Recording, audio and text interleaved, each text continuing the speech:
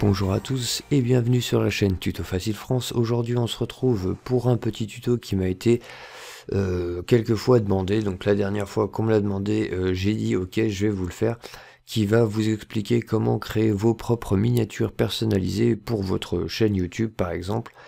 Euh, donc ça va vraiment être des miniatures personnalisées de débutants, c'est vraiment du basique comme ce que vous avez pu voir sur ma chaîne jusque là, car la plupart des euh, miniatures personnalisées ont été faites par moi-même, ainsi que ma bannière et mon intro. Donc euh, je vais euh, laisser un lien de, téléchargement de photofiltre dans la description.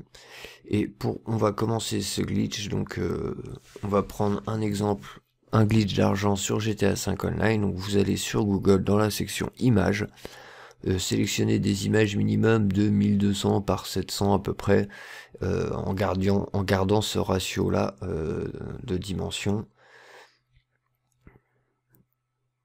Et bien prendre une image en thème et bien en rapport avec ce que vous voulez présenter. Tant qu'à faire, c'est mieux. Ensuite, il vous faudra euh, bah pour moi ça va être un logo de GTA 5 euh, si possible enfin euh, selon ce que vous utilisez après le logo d'un jeu ou d'un logiciel ou autre donc pour moi je vais prendre ce logo là donc faites le plus possible d'avoir un logo en fait sur un fond uni tout ce qui va être dessin à rajouter sur autre chose, va falloir que ce soit sur un fond uni, c'est très important donc que ce soit des billets d'argent ou autre. Donc ensuite, rendez-vous sur Photofiltre, vous allez tout simplement aller sur Fichier, ouvrir, et ouvrir l'image de fond que vous avez choisi.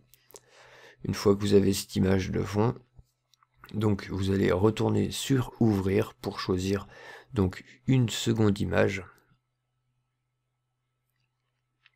Donc moi je vais choisir par exemple euh, la pile de billets, donc j'ai bien pris un fond assez homogène. Donc vous allez cliquer sur euh, la petite baguette magique, cliquer sur le fond et ensuite faire euh, un clic droit pour faire inverser la sélection. Et puis vous allez copier donc la sélection, fermer votre fenêtre, aller sur le dessin de, le dessin de fond de base et faire coller pour coller donc la sélection des billets que vous avez choisi. Ça va être exactement la même méthode donc pour pour le logo ou pour tout autre, dessin que vous, voudriez, que vous voudriez importer, euh, par exemple une tête de troll, machin, je sais pas quoi.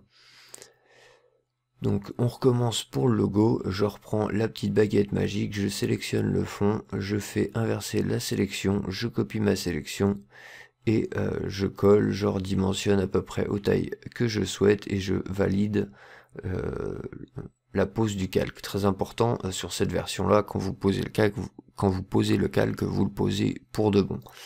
Ensuite, rendez-vous euh, bah, dans les trucs euh, de texte pour poser un texte. Donc vous allez installer la police de votre choix, il suffit simplement de télécharger des polices sur internet, une fois que vous l'avez téléchargé, vous l'ouvrez, vous cliquez sur installer. Donc vous sélectionnez la police de votre choix, moi j'ai pris euh, Price Down, c'est celle de, de GTA 5, enfin de GTA en général. Et je vais mettre argent infini.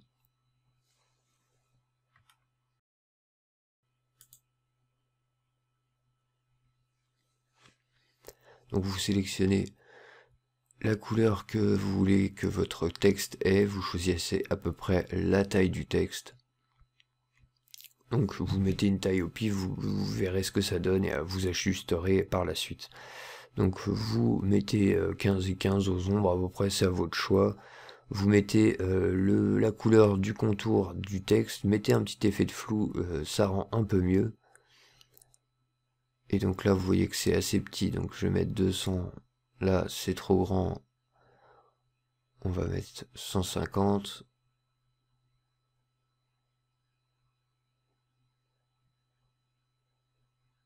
Là, c'est parfait. Ensuite, on va mettre un petit 1.16. on va mettre, vous pouvez choisir donc une autre couleur et je vais vous montrer le motif de remplissage car vous pouvez mettre un motif donc vous pouvez chercher d'autres types de motifs sur internet